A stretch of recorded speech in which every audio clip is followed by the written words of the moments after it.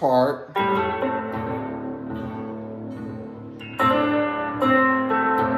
So uh, finger first.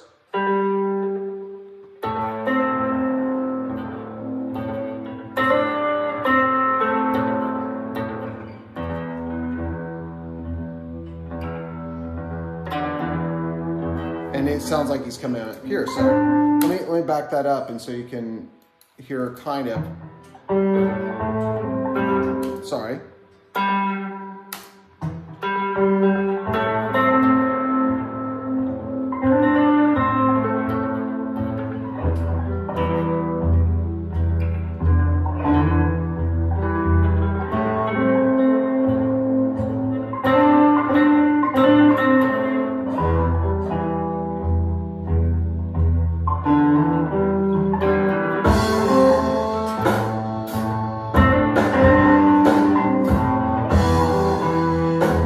Okay.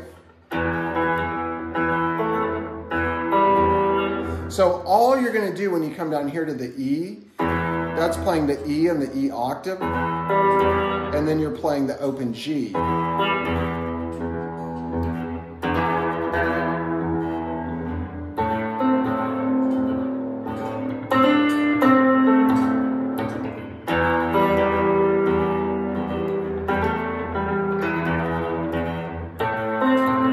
Okay, so some variation of that. I mean, he's kind of changing it up and kind of freestyling it. But the idea is to just get this thumb playing those quarter notes.